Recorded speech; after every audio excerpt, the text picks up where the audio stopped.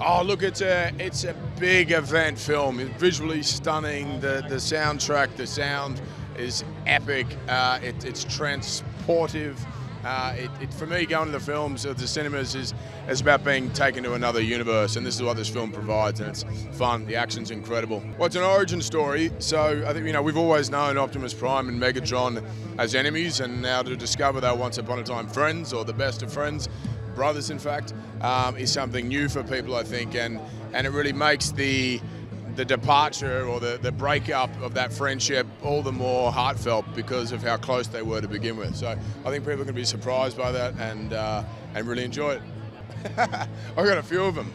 I got a few D16s in my life. Uh, my, my, trainer, Luke Zocchi, a guy I, have known since I was six years old, um, but minus the you know, betrayal and and, and the breaking up of friendship. I mean, it's uh, I think the weather's pretty consistent all year round, which is a bonus. And uh, there's you know, it's strange alien life forms wherever you look, visually stunning, all sorts of sights and sounds and colours. So pick your month because at uh, 12 months a year, it's it's it's hopping. Uh, how did I get into character? I listened to a lot of Peter Cullen, um, and it wasn't ever about mimicking what he had done but I wanted it as a sort of reference point and also an end point. And and this character's, you know, it's an origin story. So he's a lot younger than uh, the version of Optimus Prime that we've all known for many years and loved. So there was a spontaneity and a sort of youthfulness and a playfulness that needed uh, needed to be that needed to resonate through the, the voice. So we had a we had a lot of fun, and it was a constant collaboration. I'd listen to what Brian was doing and then Josh, the director, would cut it together, and, and, and we'd both be able to react off what one another was offering up. Oh my God, because it's larger than life. You know what? This is the first time that viewers are ever going to see uh, Transformers that is all Transformers, like just no humans allowed in this one. It's on their planet, Cybertron. And the way that Josh has built this universe is like larger than life. So the scale of cinema is the best way to do it. Yeah. Um, energetic, explosive, and heartbreaking. Oh, absolutely. Uh, you know, I've been a fan of Transformers since I was a child. You know, it's over 40 years old. It was a part of Saturday morning cartoons, and we just never really got to like see them at their beginning. We always knew that Megatron and Optimus Prime were foes, so to see them as brothers and to actually see them like have jobs and try to figure out their place in their world, and and before they can even transform, is something that is really appealing because it brings the humanity to who they are. Oh my gosh, the Orion Pax. You know what? It's really interesting. I have quite a few friends that I obtained in college, which was almost over 20 years ago that I still have. My best friend Kenny is definitely my Optimus Prime. I can't believe I'm giving him this because like he's going to use this against me forever, but he is. Like he's he's been there thick and thin. He's also talked me into a lot of dumb stuff, uh, much like Optimus did to Megatron. Uh, but you know what? I know that his heart is in the right place, and you know we all need one of those. So you know, Kenny, I love you, man. Thank you. People should not visit Cybertron personally because you won't survive because it's in space.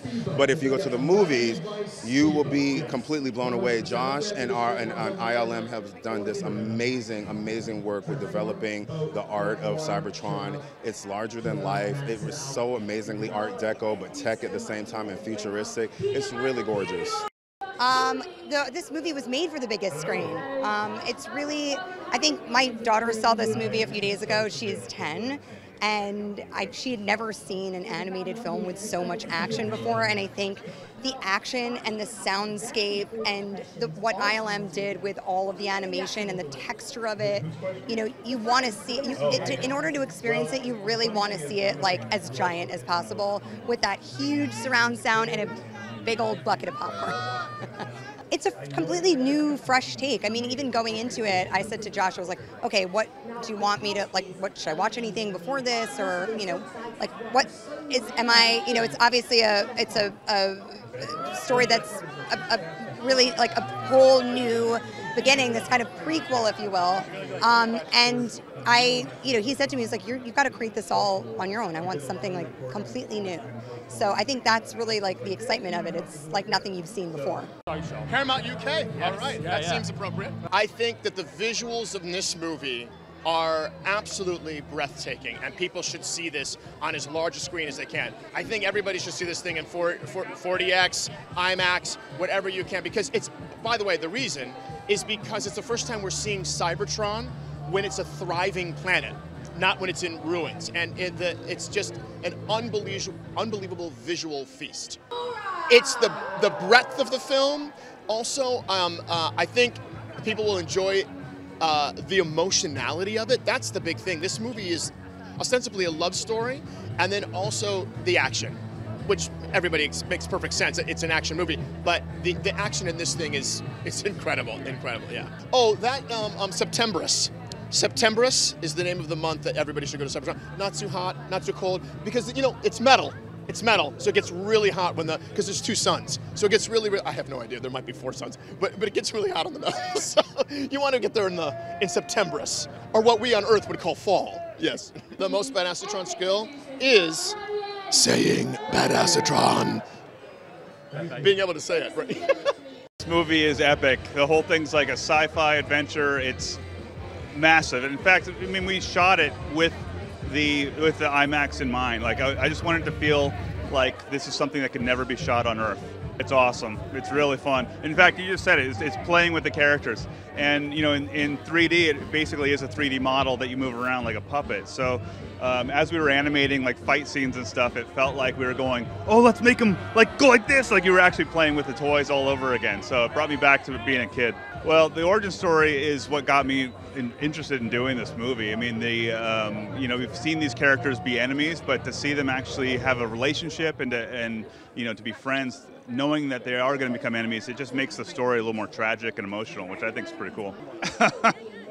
um, I don't think humans should visit. I don't think there's very much oxygen up there, so. Um, but probably summer. Epic, fun, uh, emotion is that a debate? I don't. I, I'd say that they're this. They're good to, when they're Orion Pax and D16. They're one person, one character. But when they're, you know, when they fight, they're apart. So I'm, no, I'm trying to work this out in my brain just to answer your question. Uh, Optimus Prime. Well, animation allows you to have infinite choice, and we've got already got large robots. So with animation, it's just even more incredible. Well, what it definitely brings is you get to meet both Optimus Prime and Megatron before they were those characters. And so you'll come to understand them in a way you've never had before. It's been really fun, you know, and, and actually going on Cybertron, doing a whole movie on Cybertron is pretty great.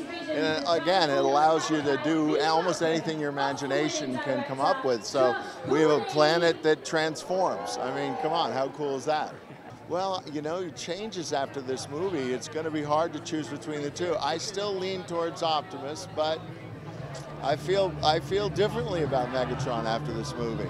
Um, well, it has to have something to do with the moon, I'm going to guess. But um, I would say that you definitely want to be there in summer. Dynamic, emotional, visually, visually.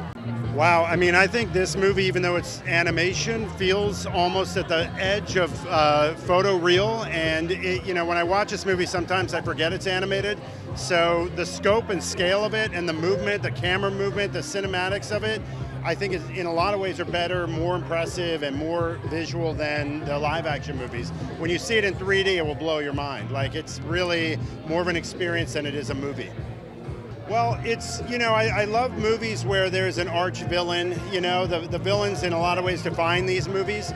Um, but you also want to know why they're the villain. And for me, personally, what was interesting was to figure out why Megatron hated Optimus Prime. And this was a story we knew we could never tell in live action because the entire world is created. So it would take, you know, $500 million to make this movie in live action. So once, once we got everybody on board with an animated movie, we knew we could tell that story, which was the story we always wanted to tell.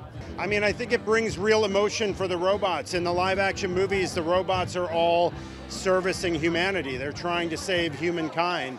In this movie, for the first time, you're really getting under their skin and, and understanding who they are. We say as people, they're not people, but but you get the idea. I mean, that's that's what's special about this. Transformers should be seen on the biggest screen possible because we built it that way. We wanted to make sure that this movie was big and loud and also visually stunning. So that way you get the full experience in a movie theater. And I believe the movie theater is the best place to see a film because you have an audience around you that also creates the vibe. And I'm so proud of this movie that we accomplished all of it.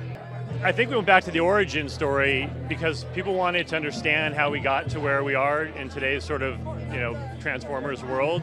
And it's really just a great, compelling story about, you know, two best friends that become arch enemies. And it's, it's a great story to tell. Josh did an amazing job, and with our amazing cast, oh my God, it turned out fantastic. Going to work with these characters in animation was so cool, and having Industrial Light and Magic, the original like visual effects animation company, um, was amazing. They did a fantastic job breathing all of those characters into life, and having our voice team um, just with such great voices and, and great performances.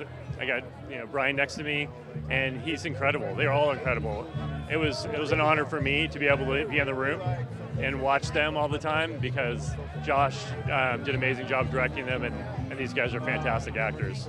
Three words to describe the film: epic, gorgeous, and emotional.